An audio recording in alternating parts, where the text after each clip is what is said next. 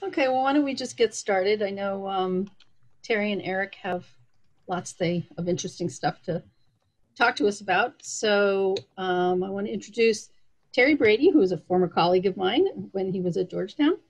Uh, and he is currently the technical lead uh, for, uh, let me get this right, uh, the technical lead for the Merritt Digital Repository, which is the um, CDL's digital um, preservation system. And Eric Lopatin, who is the uh, product manager for Merritt. And they're going to talk to us about some of the uh, work that they've been doing uh, around containerization. And they're going to describe some of the key technical challenges that uh, the system's working to address.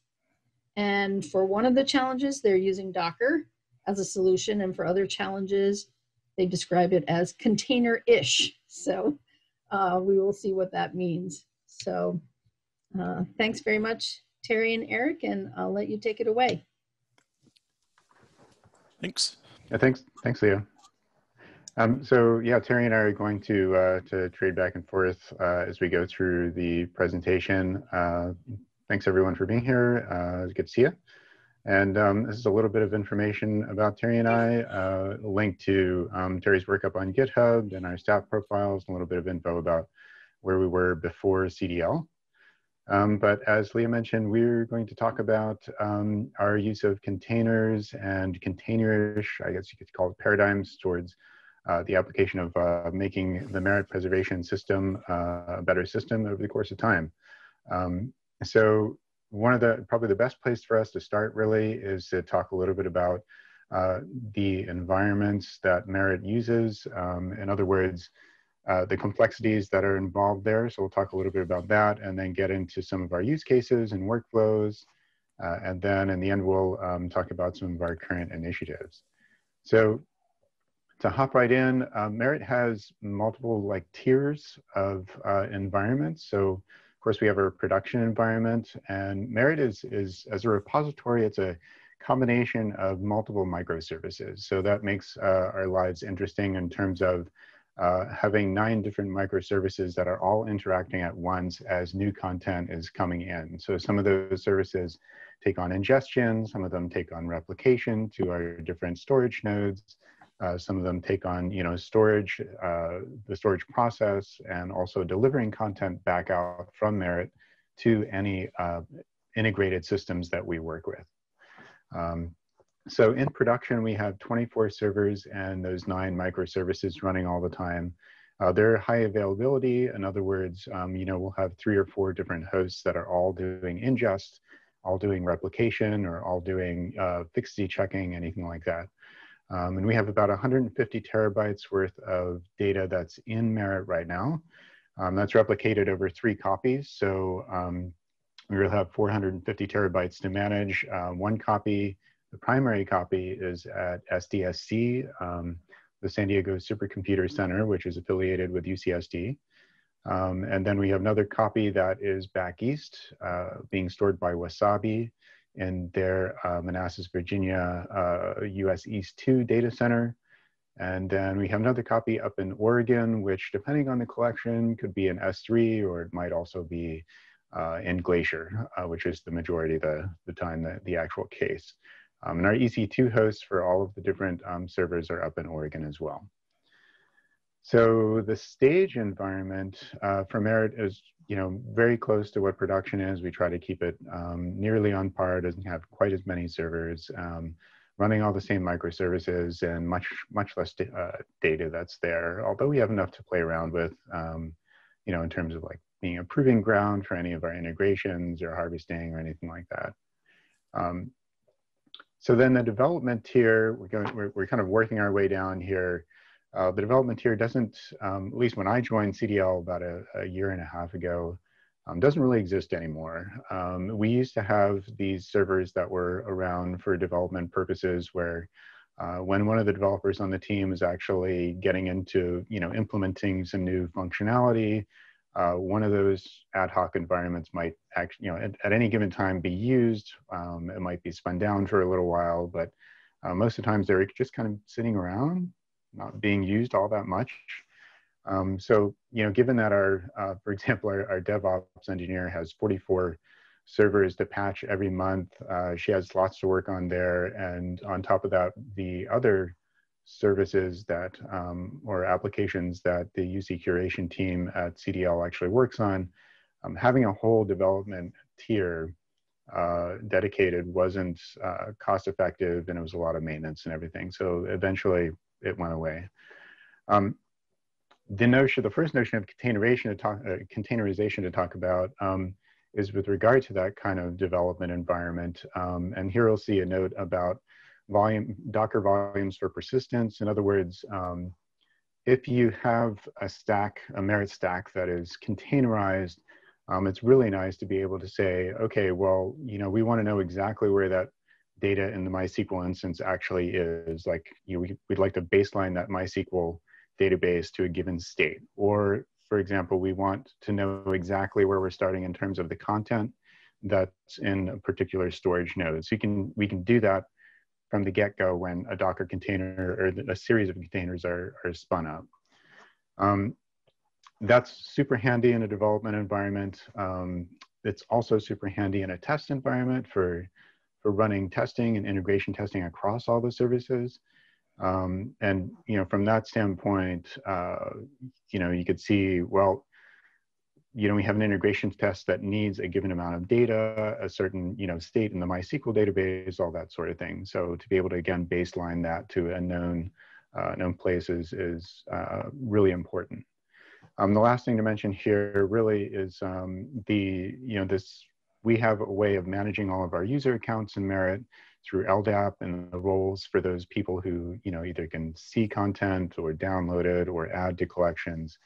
Um, we haven't containerized that yet uh, for any development purpose. And then we have our EZID service for persistent identifiers. Um, all of our environments across Merritt just use uh, the production EZID service for, for minting new ARKs uh, when new content comes in. Uh, next slide. So what really are the challenges requiring us to explore containers? Uh, again, the, the need for a development environment. We, you know, at, at, at UC3, we have, um, we have a few different teams and sometimes, you know, projects get slow. Sometimes there's a lot of work on another project somewhere else. Uh, and it's nice to be able to have, or advantageous for developers to move across teams and to, to be able to instantiate a whole new Merritt stack within um, an, an environment using containers, uh, you know, to have, you know, a new person on the team or a person who's moving to the team to work for a while, just have that, you know, all of a sudden available to them to start working with uh, is, is really great. Um, the, the need for the testing environment, uh, we have, uh, just one other thing to say about that, we have lots of unit tests across all of our code base, but we don't have a whole lot of integration testing uh, that's automated. Um, so that's something that you know we will definitely be able to take advantage of in terms of uh, containers. Um, I think that the main point here, though, is the third bullet, really, is the auto scaling of our services. Um, there are times where, uh, you know, we, okay, yes, we do have three servers dedicated to ingesting new content. They only have so much like space to work with when they're ingesting that content. And occasionally we'll have a job that has, you know, 2,500, 5,000, 9,000 different new objects coming in, uh, which actually happened to us about a week and a half ago. And when that job hits the ingest service, well, one of those ingest servers or workers is basically busy for a few days. Um, and then, you know, that, that one's out of pretty much not out of commission, but it's no longer able to take on any new work. And then if that same thing happens to the two other ingest servers or something similar, uh, then we're at the point where the whole system kind of slows down. It's not as responsive to anybody who's trying to submit new content.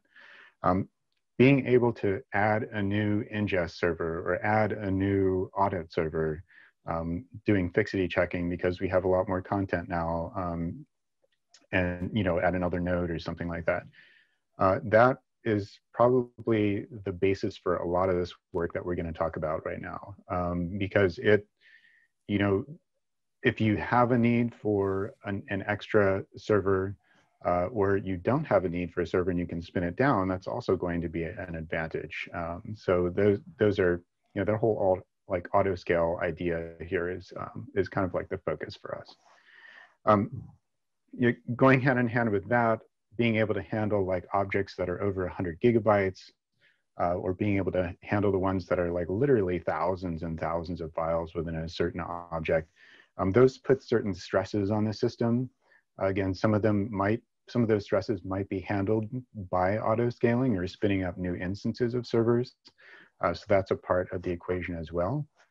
Uh, and then being able to flex, like be, um, be able to deploy with flexibility or streamlining our deployments um, is something we'd like to also um, build into the into the overall equation because we have all of those hosts that are working. Um, we need to be able to take some of them out of rotation while we deploy new code or you know deploy new patches or that sort of thing. Um, and that becomes a really complicated process with this many this many hosts in the mix.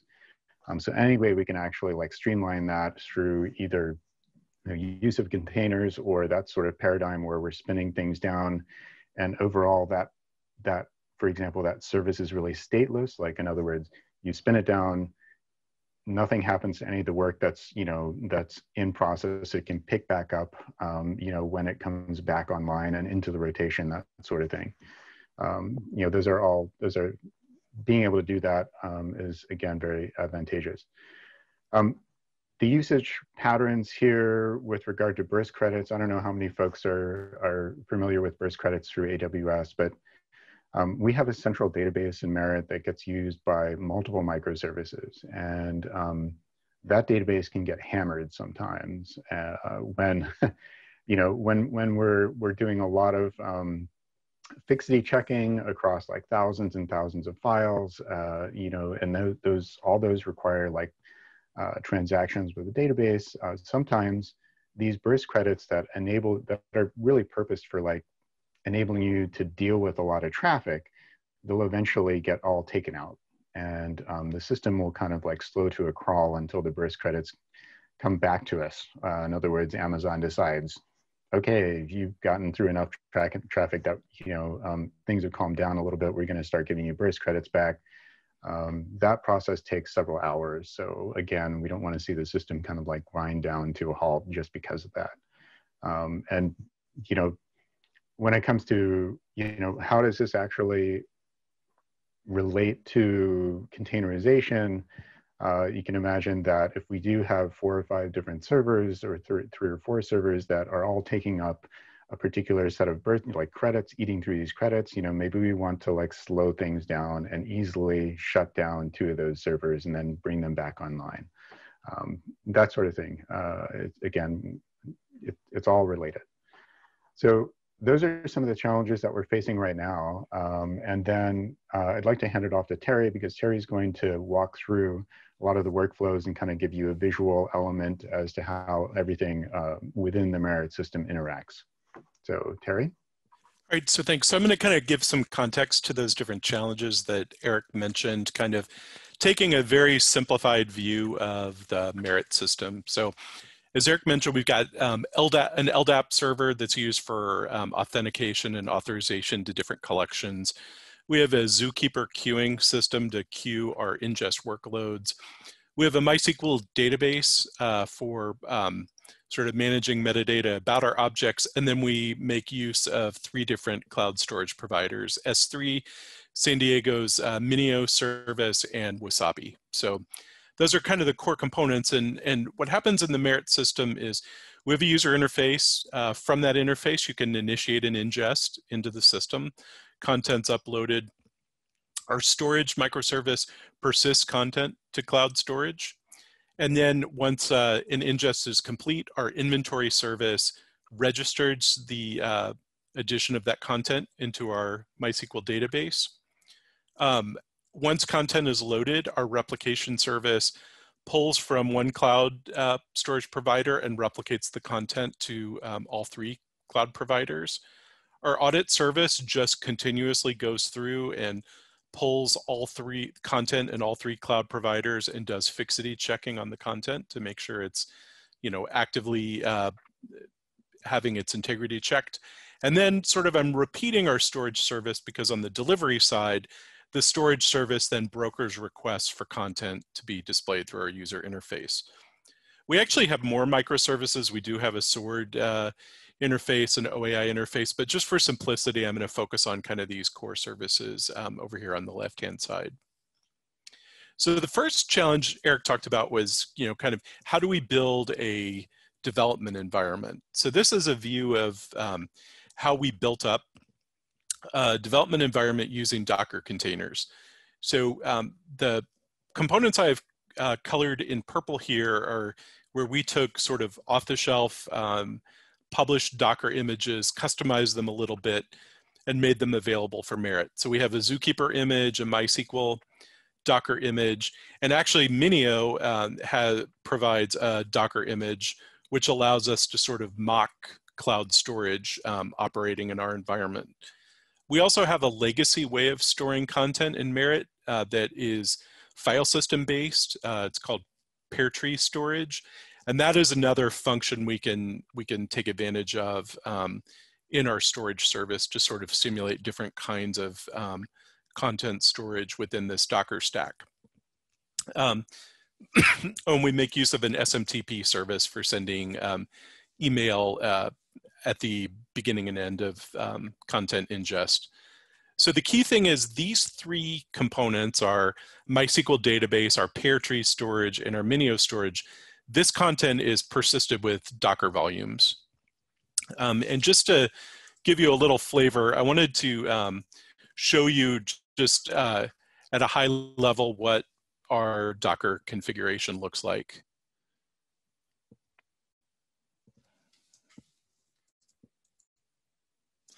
So here you'll see I've got a, a Docker compose file and we've got an ingest service uh, built, uh, UC3 Merritt ingest service.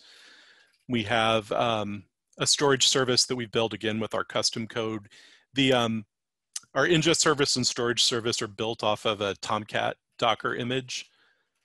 We have our inventory service also built on Tomcat.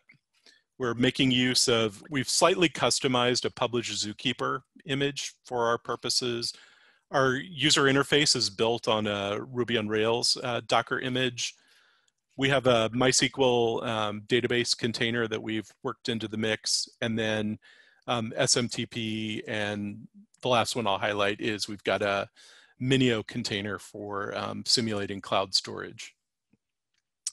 And then as an extension of that Docker configuration, we also have um, the ability to persist the, those three components I mentioned as Docker volumes. So we can take our Pairtree storage, export that um, to a Docker uh, volume, We've got our MySQL, we persist the content and then the Minio content as, as well. So this allows us to restart the Docker stack and still have some content present uh, within the container. And my Zoom controls are getting in my way. Let me uh, switch back. And if, if, you're, if you find yourself really curious, I've got a um, presentation you can click through that kind of goes through uh, what we created in more detail. So now I want to step through some workflows um, within Merritt and highlight some of those challenges that Eric mentioned. So the first thing is I'm, I'm illustrating what happens when a user comes and logs into our Merritt user interface. So from their browser, they connect to our user interface and they authenticate with LDAP. Next, then we uh, use content in the MySQL database to present a navigable view of our um, collections and the objects inside of Merritt.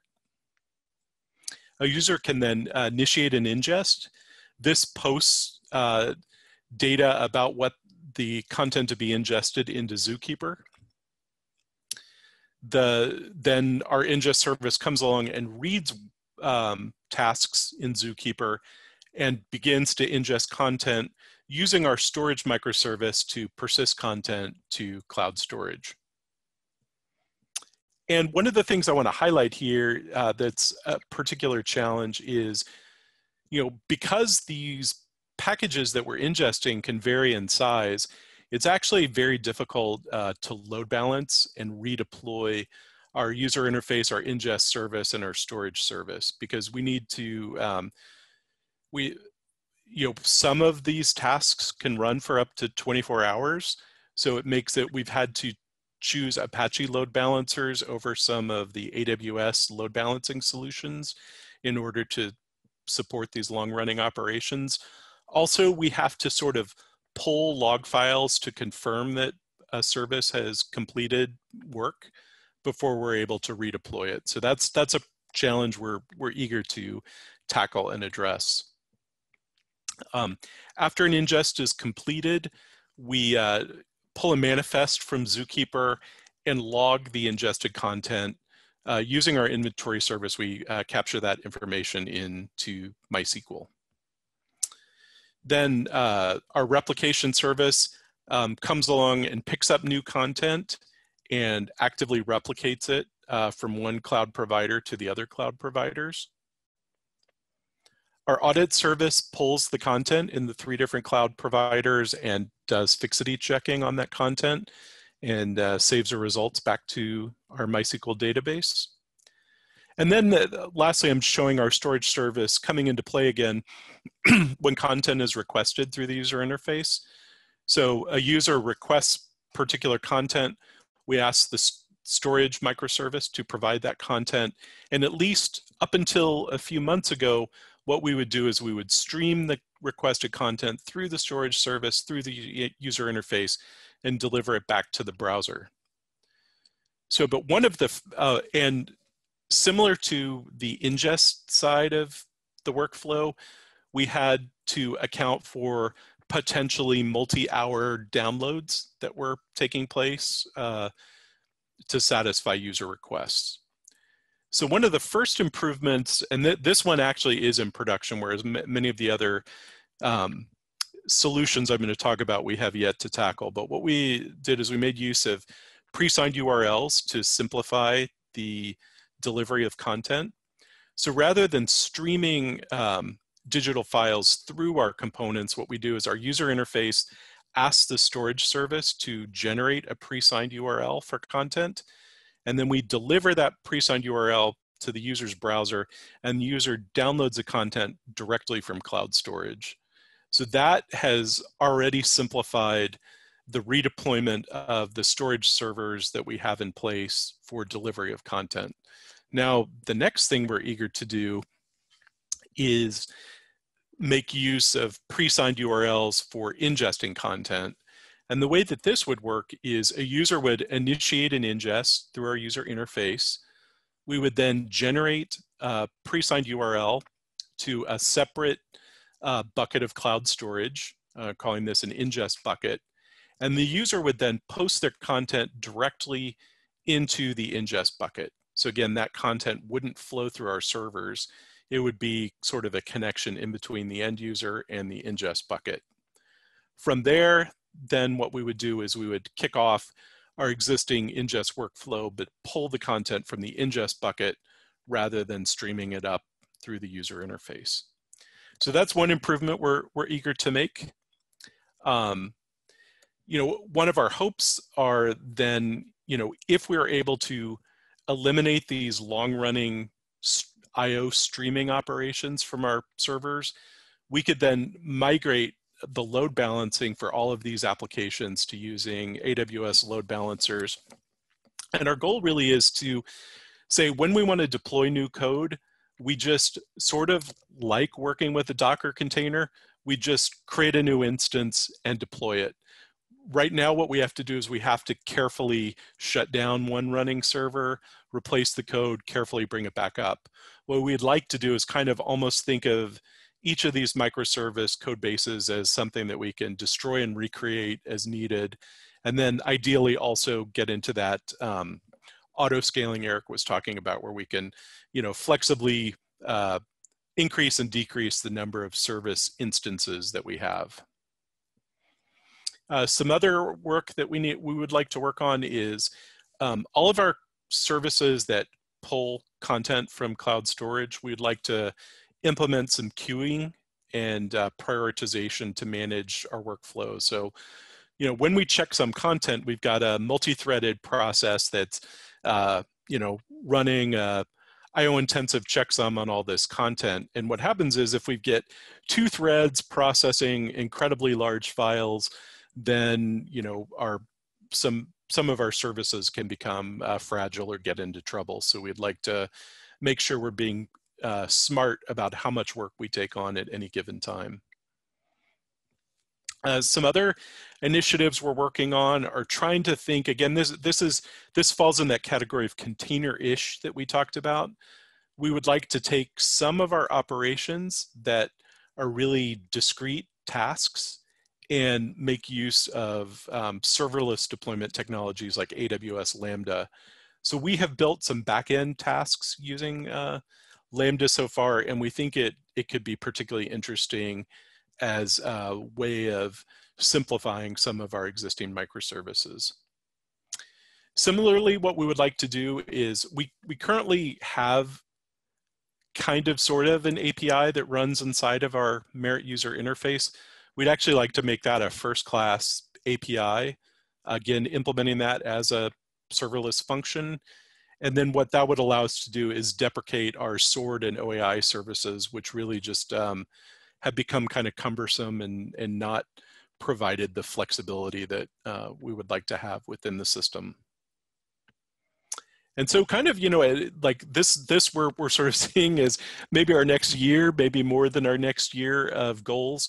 We kind of see all these tasks as um, interrelated, but we're sort of eager to, um, you know, work on all these things to make things more resilient. And I'll turn things back to Eric here. Yeah, um, what Terry said.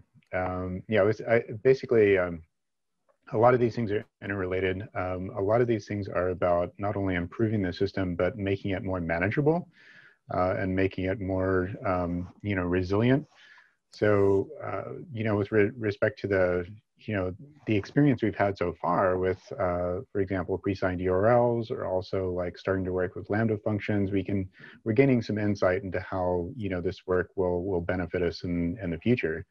Um, you know, it, with, with this many servers that are sitting around, um, you know, it's not completely unmanageable. But uh, again, when when you're at the point where a lot of them have their are, are eccentric in one way or another, their configuration or their uh, or or the manner in which they have to start up, that sort of thing. Um, you know, they're uh, as as the typical phrase goes, uh, they're they're pets. They're not cattle.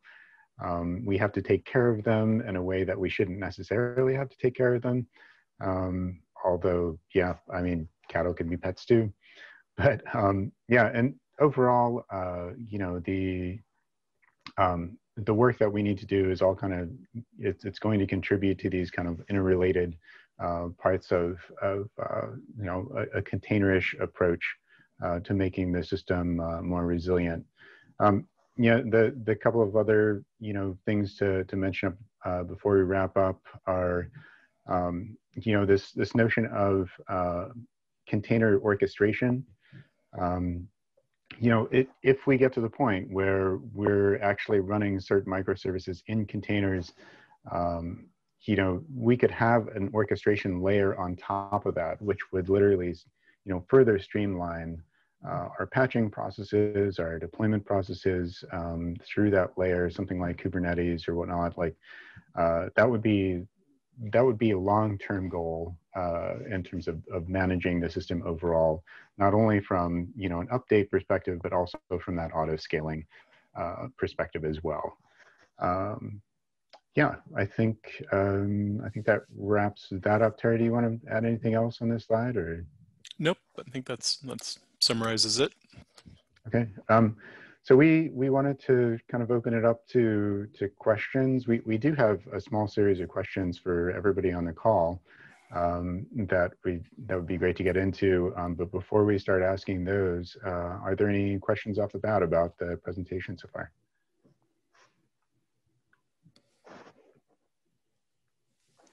Well, if other people don't have a question, I um, I have never worked directly with containers, so I'm still, it's still such a theoretical kind of thing for me. I, it's hard for me to really wrap my head around exactly what it means.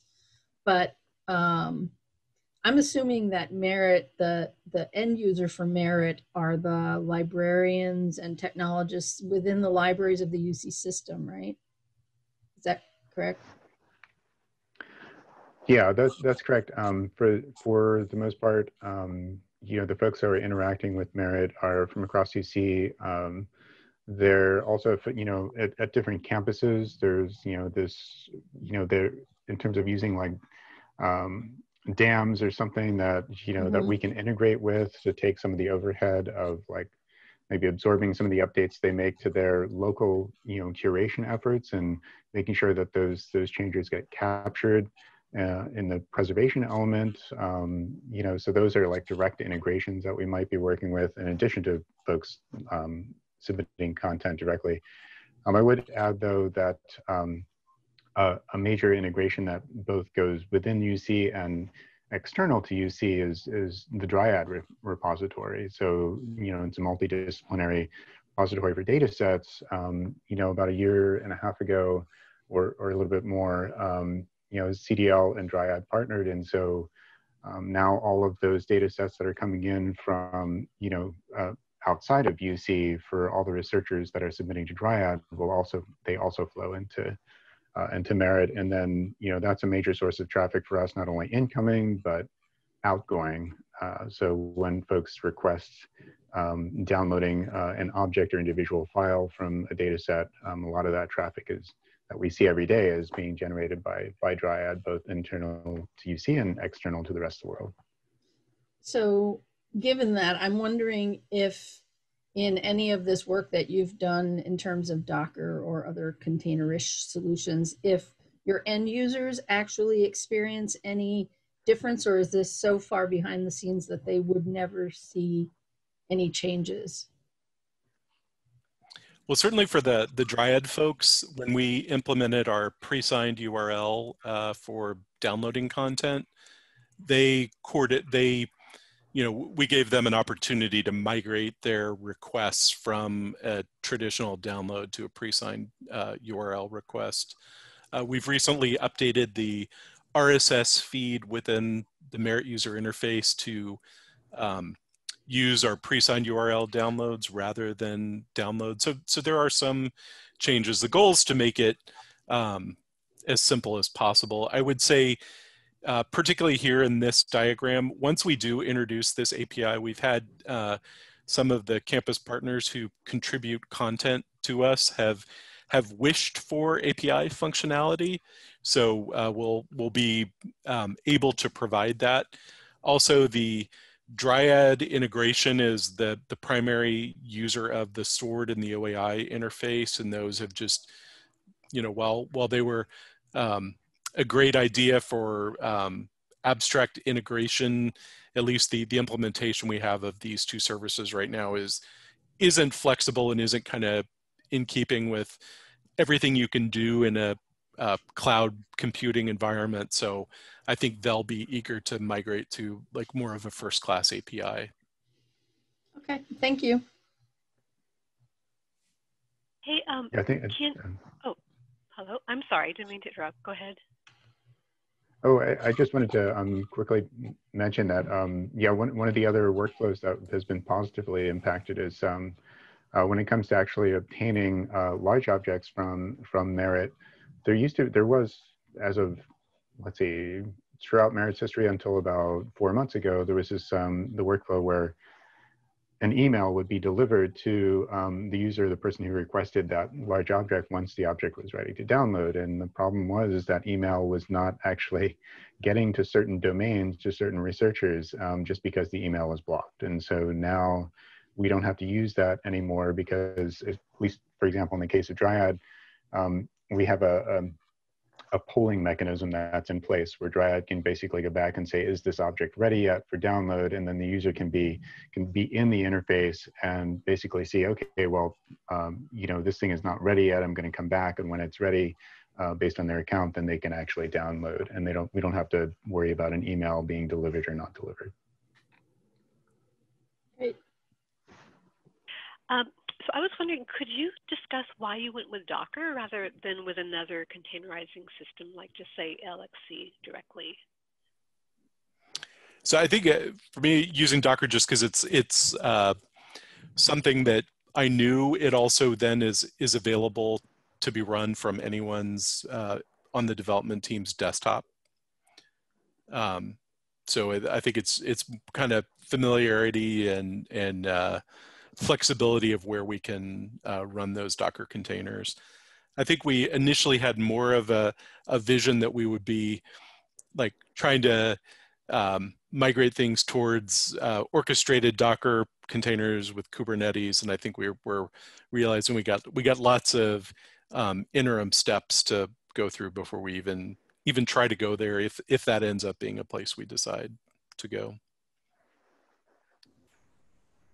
I'm not sure if I answered your question. Actually, I'm seeing that, that somebody put into chat some questions for you. Um, yeah, looks like we've got a couple related. Um, Dan. Yeah, I can I can speak that too if that's easier. Um, so it looked like a very very big dev stack, and we do some similar stuff here at the library, and have just noticed some performance issues when developers were working locally. I'm wondering if you see that with your developers. Do they actually spin that up on a local workstation, or are you doing it in a cluster? So I, when I'm making changes to our user interface, I can pretty effectively um, test that uh, just from my desktop. When we need to, uh, particularly if we need to test both Merritt and Dryad together, that just is uh, has become um, impractical from a desktop. And then we what we do is we launch uh, an EC2 with all of these Docker containers running and that gives us a little bit better performance.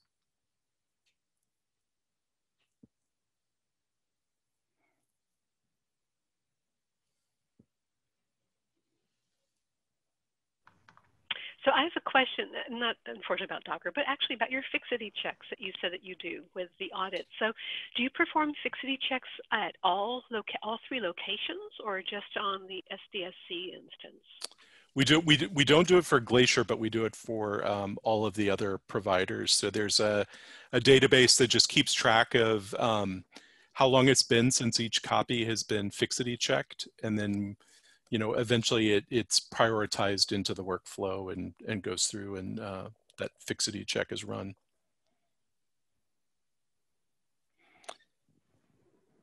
Right, and as as we um, actually brought the the third copy, the Wasabi copy online. Um, that was one of the causes, of course, for uh, the additional uh, fixity checking servers that we have running. Um, and they're actually also uh, very, um, when they start up, they're very burst credit greedy. Um, so actually very database transaction greedy. So um, that's one of those things where we've had to, to watch out uh, again as, um, as for example, after deployments or patching or something as those servers are spinning up, we need to keep an eye on things.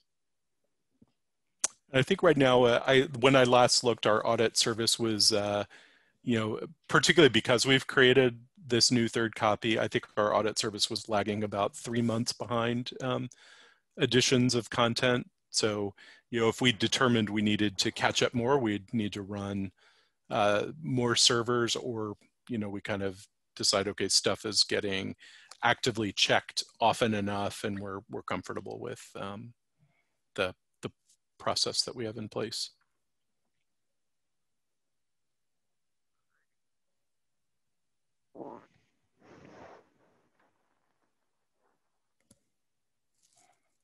Any other questions folks have? So uh, this, this is Matt. Um, real quick, I'm just wondering because you mentioned it right towards the tail end of your presentation. Um, can you tease out a little bit um, more what the relationship between uh, things like Docker and things like uh, Kubernetes is?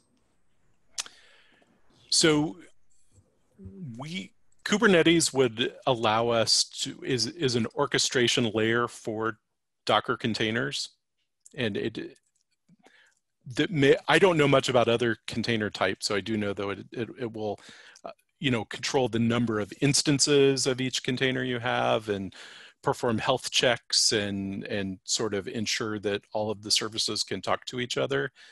I think we have several hurdles to go through before we are running um, any Docker containers in production. Um, so, you know, I think if we hit the point where we decided to take some of these, so each of these boxes right now are EC2, uh, Amazon EC2 instances. Uh, in the presentation I showed, we might replace a couple of these with some serverless Lambda functions. But if we got to the point where we were comfortable replacing these actual server instances with Docker containers, then we might want to consider something like Kubernetes as a control mechanism to make sure that all of the instances could talk to each other. Um, right now, since we only are using Docker containers in a development environment, and hopefully soon in an automated test environment, you know, they, they're just, um, we're making use of Docker Compose as our orchestration layer, which is a much, much simpler um, mechanism for controlling the interrelationship of different containers. And it's sort of, with Docker Compose, you're, you're presuming you're hosting all of your containers on one common server. Whereas if you have something like Kubernetes, it can actually span your Docker containers to run across multiple hosts. Yeah, that's great. Super helpful. Thank you.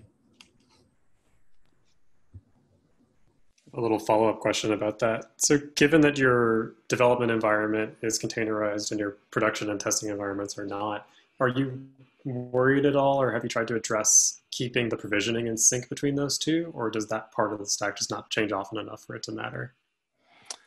I think it's uh, the you know we we've got this stage environment that Eric talked about that's sort of you know a subset of our production environment. So when we need to do any sort of sophisticated integration testing, we still heavily rely on that environment to be sort of the the preview or the or the staging area for changes that are being released. Um, we tend to use the Docker environments really for. I, I'm working on one very specific um, change that I want to test, and I just don't want to break or interrupt any work that anyone else is doing. So um, it's. I think right now I'm I'm heavily using the Docker environment because I'm comfortable with it. I think a, a, goal will be, you know, can can we get to the point where more folks on the team are actively using it as the first step of testing content? Because where where we do end up with a bottleneck in this staging environment where sometimes we're you know trying to do too many things in that one fixed environment. Gotcha. Yeah. So it sounds like you still have the gate at the deployment of the staging pipeline or the staging environment. Um, out of curiosity, how are you guys deploying that environment? Is that automated through, you know, Jenkins or like is that fully automated or is someone going to the server?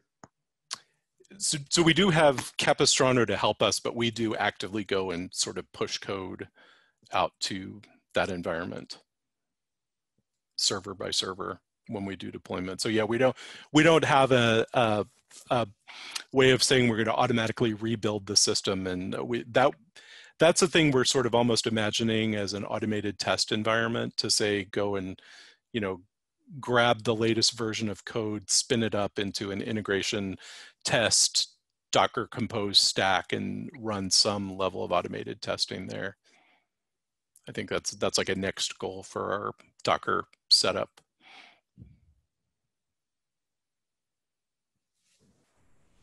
Um, this this is Matt again. I've got a, a question about um, like where this this work goes uh, in community here. Like so, um, we've got a decent decent swath of uh, NDSA institutions that are um, you know either actively you know engaged in similar development or maybe kind of at the doorstep.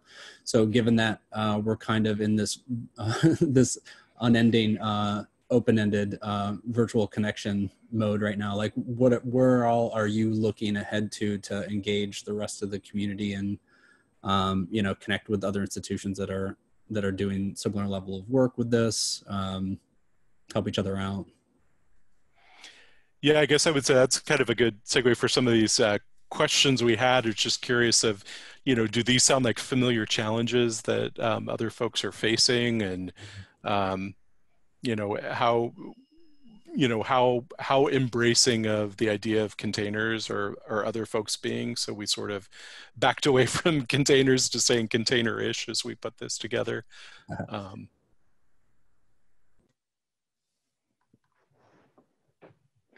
Yeah, I think um, you know there's there's the the notion of finding out what the the community is uh, you know is is up to and um, you know where are some similarities or other analogs that are out there. Um, I think it's also it's also um, you know interesting to see uh, you know the the pro- any project that spins up in the future um, you know that that will be able to take advantage of this sort of thing um, whether it comes in through uh, one of the campuses or, or external, maybe in the state of California or, um, you know, beyond that. Um, you know, for example, there's a, a project that uh, we're, we can, we're engaging with through UCLA right now, um, but it actually involve, involves um, uh, the Palestinian Museum for um, digital ephemera that they have. And we need to figure out how to get that content uh, from their S3 containers uh, or S3 buckets all the way to Merritt. And so the um, the notion of using like a pre-signed URL that way um, for ingesting is uh, is an idea there. I don't I don't I don't know if we'll have that con that actual you know functionality in place, um, but it's you know it's another interesting problem um, and way of trying to um, you know uh, figure out how to put the pieces together uh, that'll directly um, help folks that are interested in, in using the repository. It's a, a, very specific example, but you know there are other projects that I'm sure will come up.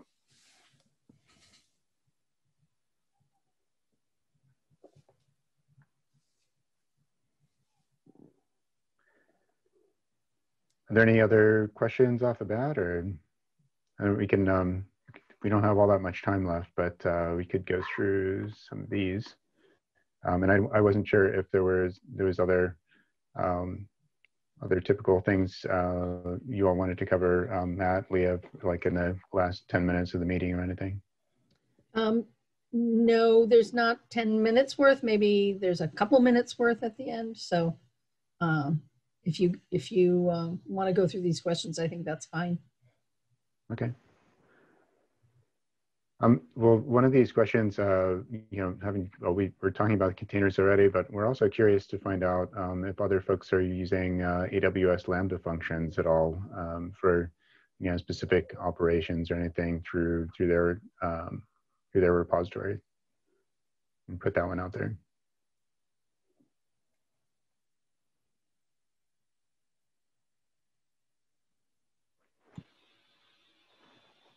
I will say that we are not using Lambda functions, but we do have a lot of containerized, um, what used to be called scripts here, things to move data, launch data, process it, um, that we now run with Docker Swarm.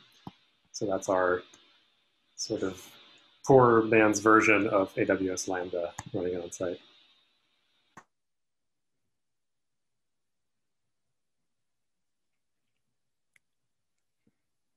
Yeah, we one one interesting thing we found is we uh, built our first Lambda. There's a um, AWS lets you put something called API Gateway in front of a Lambda, so that's designed for. Uh, I, I, think it provides some sophisticated services for having, a, you know, running a, an uh, public-facing API, and they have a hard and fast um, 30-second limit. Uh, so any function that is called from API Gateway has to provide a response within 30 seconds. And what was interesting was after we encountered that challenge, we realized, oh, there, there are a couple components of uh, Merritt that as we redesign this, we'll, we'll definitely be able to, um, you know, th they'll sort of conform within that constraint. And then that just had us kind of thinking, oh, okay, maybe, maybe that particular component is a good uh, solution to think about serverless functions. And you know, the, the advantage being there, if something's running serverless, we don't need to worry about maintaining the underlying compute server. I'm sure, I'm sure there are there are other challenges that come along with serverless, but that's one uh, one challenge we um, don't have to uh, contend with.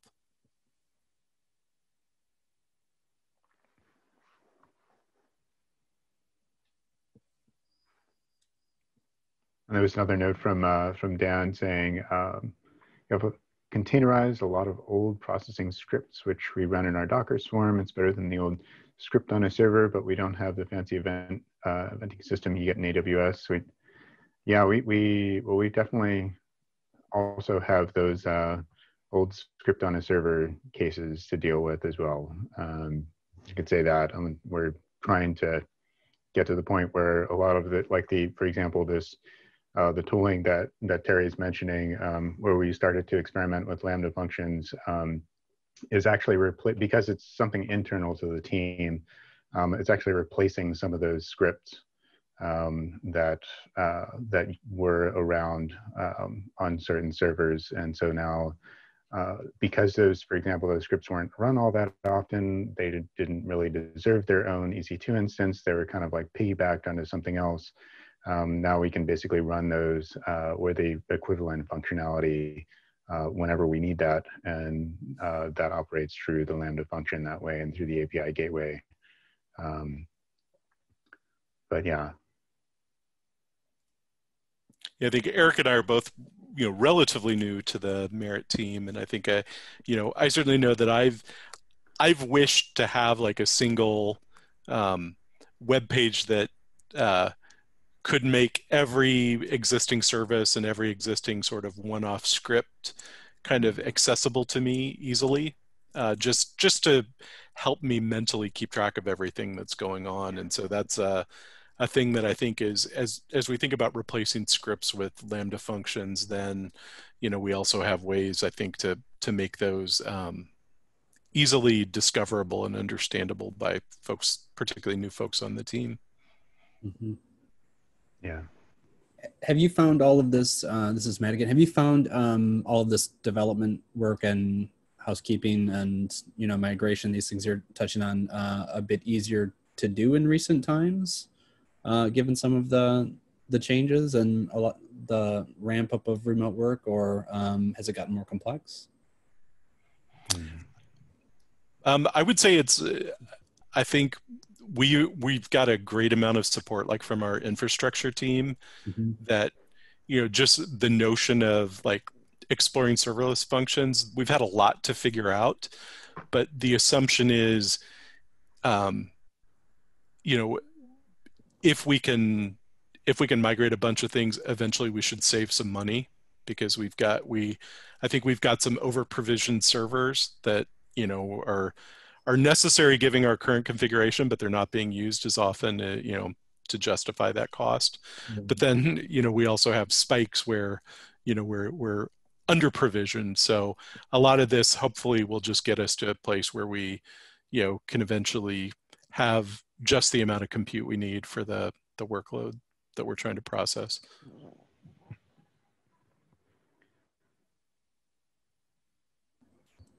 Tim Tim's got a question in the chat here too. Says AWS is a big dependency. Uh, your storage seems to avoid putting all eggs into S3, but how portable is your application logic, and is that a concern for anyone uh, but me? I think it's a concern, but I think also I think it, I think it's a concern for us to not take advantage of these cloud development paradigms. So you know, I I you know, it's my understanding that the other major cloud providers do offer serverless options. So I think if, you know, our organization decided to move away from AWS or to go to some kind of multi-cloud hosting, hopefully the the kind of abstractions that we're doing to take advantage of this would still have equivalent support um, over in those um, other environments. I mean, it's actually interesting. Merritt is old enough as a system that um, some of the ab abstractions we have in place, like uh, the way our storage service works, um, it was designed for precursors to cloud storage. Um, and so we're just at a point now whereby assuming we're always going to be using cloud storage. We're able to uh, remove some legacy dependencies, uh, but but I think it's I think it's wise, particularly for cloud storage, that we're you know we don't have all the eggs in one basket there. But uh, I think to imagine us, um, you know, being able to run a hybrid of multiple cloud providers, not cloud storage providers, cloud compute providers is just, that's, that's, um, yeah, that's a bigger undertaking. I don't think we're at that point yet of even imagining that.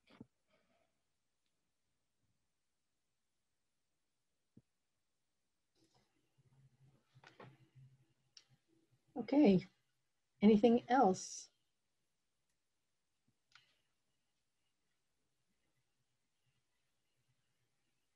Thanks very much, Terry and Eric. This was um, mind stretching for me. I don't know how, if that's true for everybody, but it definitely is for me. So I appreciate that very, very much. Uh, and as far as NDSA business goes, we'd like to try to make sure that we pass on information from um, the leadership. And I just wanted to make sure, and you would have seen both of these things on the list serve, but just to, to point them out. Uh, first of all, you may have seen that the uh, Digital Preservation Coalition announced the finalists for the Digital Preservation Awards for 2020. And um, the, the team in the, in the, the levels of preservation team uh, is one of the nominees. So um, big uh, kudos to everybody who was involved in the um, levels of preservation rewrite uh, and reboot. Um, we will see how that all works out. And then the coordinating committee has um, nominees have been announced for the coordinating committee. So um, membership organizations will be getting ballots. So um, the bios for each person who is nominated is up on the site. So you can take a look at that and, uh, and be ready to vote.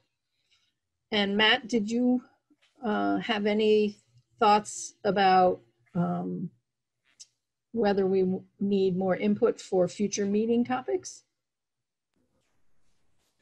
Well, we um, so have reached out to some other uh, potential presenters. Um, we don't have anything secured for October um, just as of yet, um, but we can still do some uh, work in the background to get in touch with um, with potential presenters for the topics from our Tricider poll and get back to folks. And if uh, anyone you know in the mix here emphatically wants to hear of a specific topic and or hear from a specific presenter or presenters, feel free to reach out to Lee and I, uh, and we can run those folks down. Um, but otherwise, I think we're planning on um, foregoing a meeting in November um, because uh, DigiPres uh, will be coming around, um, the virtual digital preservation conference, uh, and uh, they do have a keynote speaker secured. Uh, I think there's some updates that Courtney and the planning team are set to push out here shortly. Um, all of the presenters should be hearing uh, back from the planning team here shortly as well. Um,